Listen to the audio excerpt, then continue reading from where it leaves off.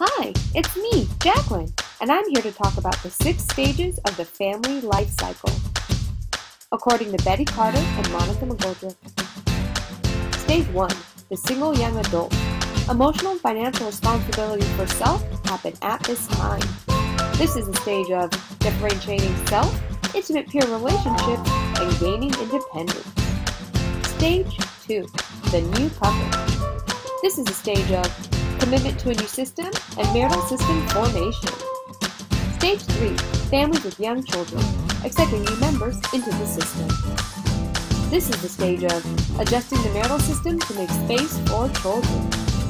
Stage 4 Families with adolescents. This stage focuses on increasing flexibility of family boundaries. Stage 5 Launching children.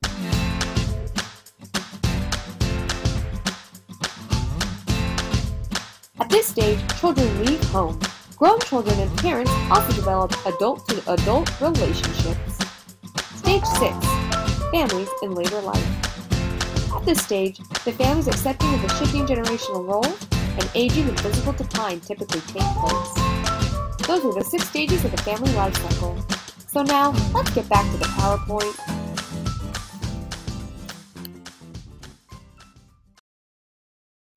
created using Powtoon.